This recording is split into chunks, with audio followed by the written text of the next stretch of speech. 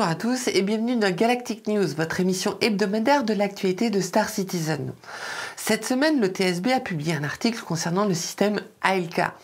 Ce système Chian, possédant une étoile bleue de type B, n'est officiellement connu que depuis une trentaine d'années, lorsque les Chian nous ont invités à le visiter.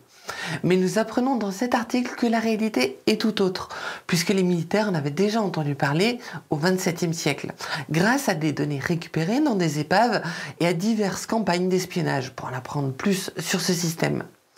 Connecté au système Yaman, plus connu aujourd'hui sous le nom de système Adur, et au système Indra.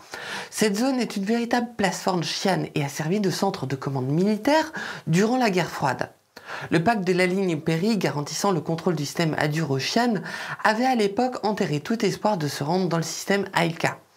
Par la suite, l'initiative d'échange avec les Chianes et les relations s'améliorant, nous avons fini par être invités officiellement en 2915 à visiter le système. Passons maintenant à une information capitale découverte par des ingénieurs en aéronautique, qui ont découvert que les composants s'usaient extrêmement rapidement lorsque les pilotes engagent des combats à trop grande vitesse. De plus, d'après les calculs, il y a une perte de précision de l'armement de plus de 60% due au stress que suit l'ordinateur de bord. Il est donc fortement conseillé de prendre l'habitude dès aujourd'hui de ne pas dépasser ce que l'on appelle la zone de manœuvre en combat, ou SCM, qui est indiquée par une zone blanche sur votre interface sous peine d'endommager votre vaisseau. Durant ces tests, une autre problématique a été mise en lumière.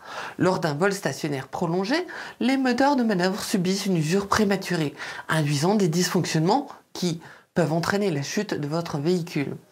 Si votre vaisseau n'est pas équipé de VTOL, il est fortement déconseillé d'user de telles pratiques. Il est à noter que le problème s'aggrave si vous pointez directement le vaisseau vers le sol, puisque tout le poids de celui-ci sera reporté sur uniquement quelques moteurs de manœuvre, signant immédiatement leur arrêt de mort. Mercredi, lors de la célébration du premier contact avec les Banous, ceux-ci ont décidé de nous faire parvenir un message. Les meilleurs linguistes de l'Empire travaillent actuellement à sa traduction. Nous ne connaissons donc pas encore pleinement sa teneur. Ce qui s'en dégage pour le moment est que le peuple Banou souhaiterait nous offrir un présent sous la forme de schémas de construction. Information exclusive. La Navy nous a confié jeudi avoir capturé différents vaisseaux Vandoul et ont observé que ceux-ci avaient apporté des modifications structurelles drastiques. Bien que leur appellation n'ait pas changé, le Blade, le Sight et le Glaive ne ressemblent plus du tout aux vaisseaux que nous avons pu croiser par le passé. Nous avons appris, grâce à ces modifications, que les Vandouls chassent comme des oiseaux de proie et que la partie la plus protégée du vaisseau se situe sur le dessus.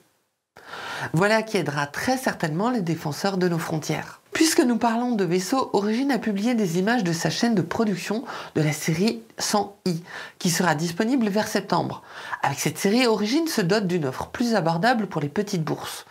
Et voilà pour les informations de la semaine. Merci à tous d'avoir suivi cette édition. Je vous retrouve la semaine prochaine pour un nouveau Galactic News. Bisous des étoiles.